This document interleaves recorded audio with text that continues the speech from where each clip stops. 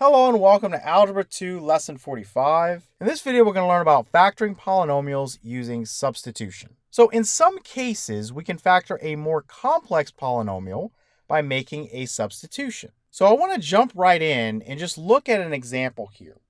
So let's suppose you see 7x to the fourth power plus 20x squared plus 12, and you're asked to factor this. Well, you might look back at me and say, well, I don't know how to do that. I'm used to seeing something that looks like this. ax squared plus bx plus c. Now I've got something times x to the fourth power plus something times x squared plus some constant. So the way this works, if you look at this particular problem, I could rewrite this, and I just have to show this to you, as 7x squared that's squared. Now if I take x squared and I square it, what do I have? I have x to the fourth power. So I haven't changed anything. I just rewrote it. Then plus 20x squared, then plus 12. Now the benefit or the reason to writing it like this, you see that I have an x squared here and an x squared here. So what if I made a substitution and I let a variable be equal to or the same as my x squared? So that variable could be whatever you want. You could use y or z or q or n or whatever you want to do. Let's just go ahead and use u.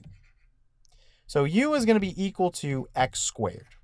So that means everywhere I see an x squared, I'm going to plug in a u. So let me erase this. We don't need this anymore. And so I'm going to rewrite this problem as 7.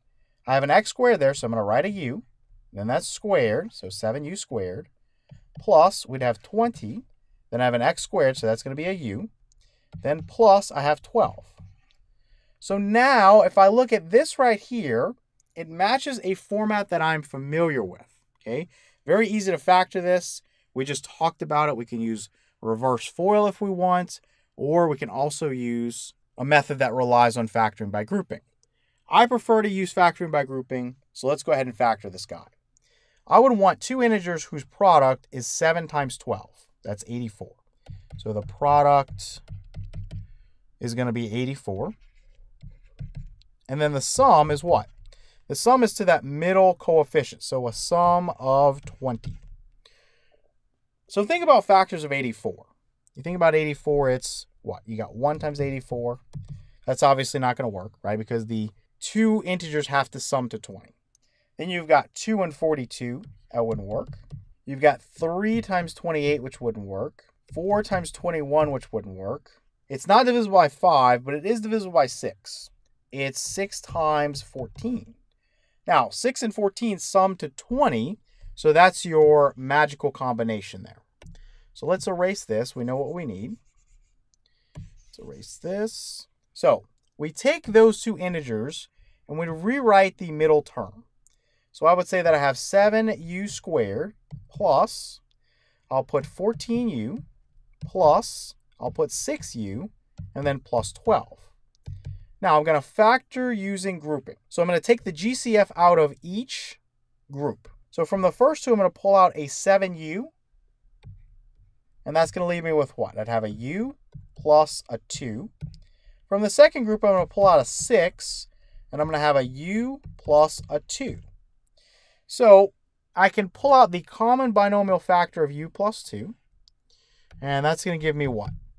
That's going to give me u plus 2, that quantity, times what's left. I'd have 7u there, plus I'd have 6 there.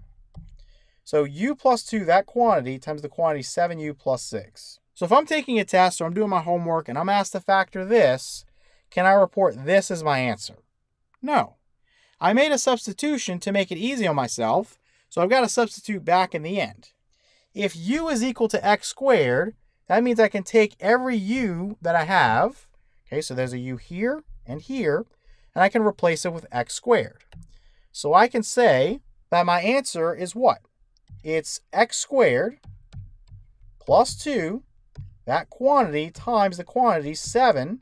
Again, you've got a u there, so x squared plus 6.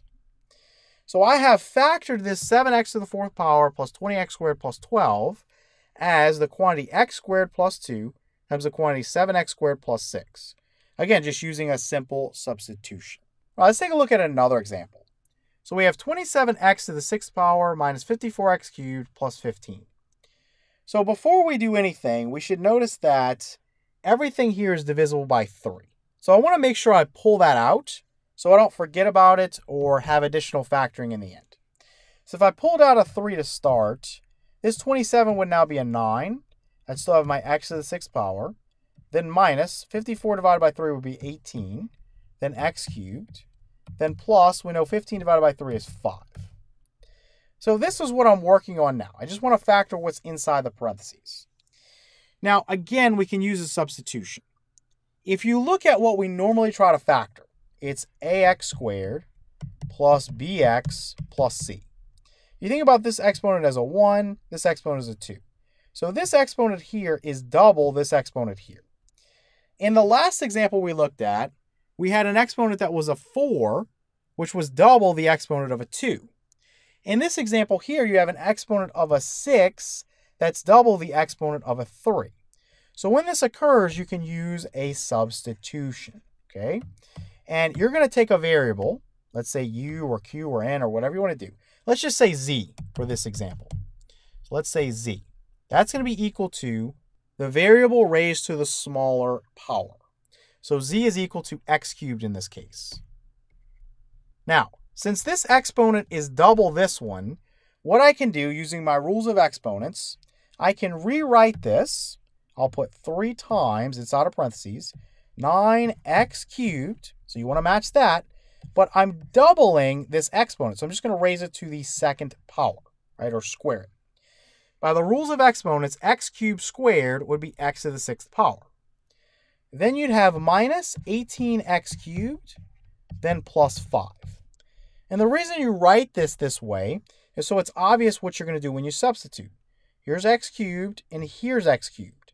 So what I'm going to end up doing when I make my substitution, I'm going to say that I have 3 times, inside of parentheses, 9. This right here will be replaced with a z z equals x cubed. I have x cubed right there, so that would be z and then squared. Then minus, I have 18 times. Here comes x cubed again, so I'm going to substitute with a z, and then plus 5. So all I have to do now is just factor this as I normally would. Once I'm done, I go back and I resubstitute, and I have my answer. So give me two integers whose sum is negative 18.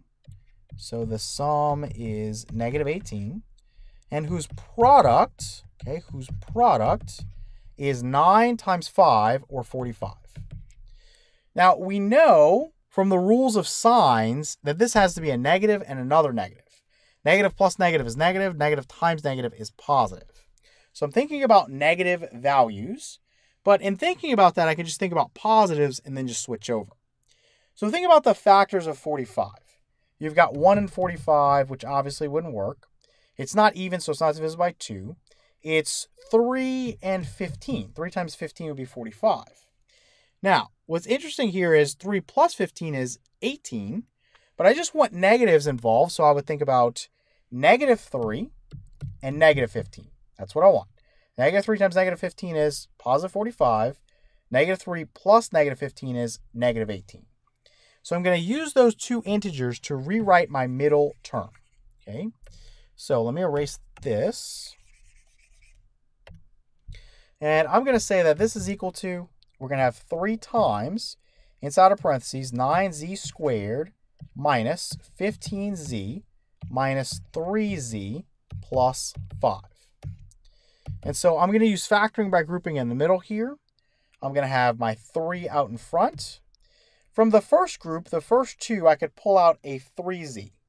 So pull out a 3z that would leave me with a 3z minus a 5. Then in the second group, I have negative 3z and I have 5. Well, if I look at trying to get a common binomial factor, I just want opposite signs. Right? I want positive 3z and negative 5. So just pull out a negative 1. Pull out a negative 1. You can change the signs. This would be 3z. This would be negative 5. And so now I have that common binomial factor that I'm looking for. This 3z minus 5. So I can take that and factor it out. I'd have a 3 out in front, factor out the quantity 3z minus 5, and it would be multiplied by what's left. You'd have a 3z here, minus a 1 here. So this factors into 3 times the quantity 3z minus 5 times the quantity 3z minus 1. Now, am I done with this problem? No. I substituted to get here, so I've got to substitute to finish this up. So let me erase this and I can kind of move things up. All right, so we know that we substituted a z for x cubed. So everywhere there's a z, I can just go back and put x cubed. It's just that simple. x cubed here and x cubed here. And I'm going to have my answer for the original problem. So it would be 3 times the quantity 3x cubed minus 5 times the quantity 3x cubed minus 1. And again, if you don't believe me, go ahead and FOIL this out. You'll get a result. Multiply that result by 3, and you'll get back to 27x to the 6th power minus 54x cubed plus 15. All right, so let's take a look at another one. So I just want to show you another scenario where you can use substitution. We have 4 times the quantity x minus 5 squared minus 4 times the quantity x minus 5 minus 15. So if someone said, go ahead and factor this, again, you might have a little bewildered look on your face. But again, if you see something that's common, like the quantity x minus 5, I can just replace that with a variable. So I can say, hey, I can let u, or let's just go ahead and do q. I can let q be equal to the quantity x minus 5. So everywhere I see an x minus 5, I could replace it with a q. So what would that give me? Well, I'd say 4q squared minus 4q minus 15. Can I factor this? Yes, I can. I can find two integers whose product is negative 60. So the product is negative 60. And whose sum is negative 4. So the sum is negative 4. So we're going to have to think about this a little bit more because we have a negative product. So that means we have one positive integer and one negative integer. So let's think about some combinations that we can do. So for factors of 60, I'm going to throw out things like 1 times 60 or 2 times 30. They're too far away. Then next you'd have 3 times 20, also too far away. You've got 4 times 15. That wouldn't work. You've got 5 and 12. That wouldn't work. Then you come to 6 and 10. So if I had 10 minus 6, that would give me 4. But I want negative 4, so I'd have to put positive 6 and negative 10 and that would give me a negative 4. So I'm looking for a negative 10 and a positive 6. Negative 10 times 6 is also negative 60. So let's use these integers to rewrite that middle term. Let's erase this and say that we have 4q squared minus 10q plus 6q minus 15.